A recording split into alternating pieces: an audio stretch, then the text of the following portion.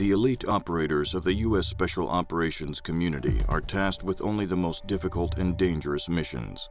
The subject featured in the following interview operated within this community and acted as a consultant on the development of Medal of Honor. Their identity has been concealed for security purposes.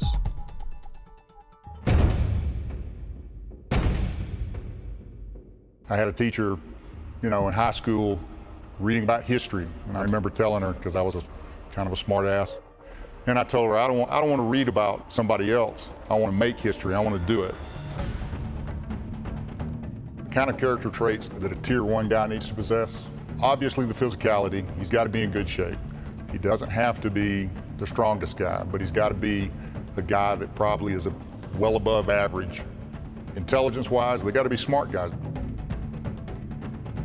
In the big army, you're more of a hammer. It's a large instrument. When you start talking about the tier one elements, it's much more of a scalpel approach. You're trying to do something very surgical. You're trying to do things with the most precise element that you can bring to bear. And a lot of times that can be just a single tier one operator. No telling what he had to do to get to that point so that he could go through that door so that he could confront a guy with a gun who wants to kill him. And he is going to try to, in a very surgical method, apply the very precise amount of damage to the bad guys without inflicting any damage on the hostages that may be in there. He's risking his life to save somebody else's life.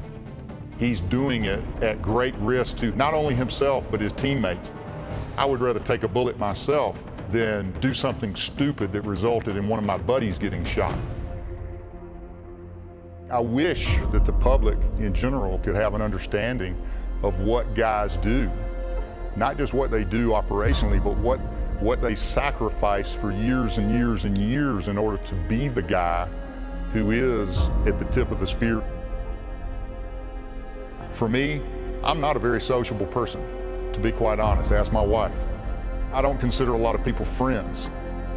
But if you're any innocent person that's in harm's way, we wanted to be the guys that came and tried to do their best to stop the bully.